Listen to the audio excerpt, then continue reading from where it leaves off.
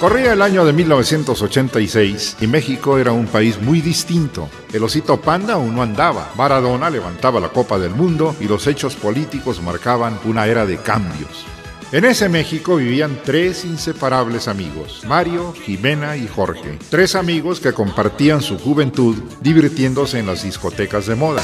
De pronto, toda esa diversión se congeló. Jimena fue diagnosticada con una extraña enfermedad incurable cuyo remedio no se conocía en aquella época. Para mantenerla viva, los doctores decidieron congelarla en una cámara criogénica. Hoy, después de 20 años, la ciencia ha descubierto una cura para su mal. Jimena ha despertado. Los amigos se han reunido y Jimena está a punto de descubrir cómo ha cambiado el mundo en estos 20 años.